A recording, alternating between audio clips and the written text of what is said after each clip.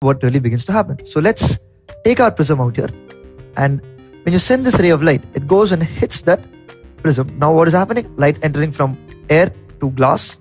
Draw a little normal there. It's going to bend towards the normal. Great. Let it go. And it hits the other end of the prism. Now it's going from glass into air, which means it's going to bend away from the normal. Great. Now, what do you observe here? The first thing I want you to observe is that if this prism was not there, light would have gone, continued to go that way. But because of this prism, it's now going this way. So if you were to extend this line and that line backwards, one of these is going to be called the dif- called the deviation, right? Because this light has been deviated.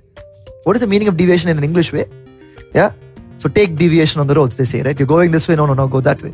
So over here, what could be the deviation? Somebody who had to go there is now having to go here. So the angle between the two of them has to be what we call the angle of deviation.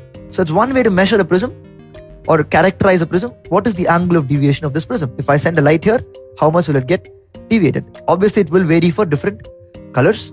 And also the angle at the top for that prism is also called the angle of the prism itself. So that little angle that you see is called the angle of the prism. And this angle between the incident ray and the final ray that comes out is called the angle of deviation.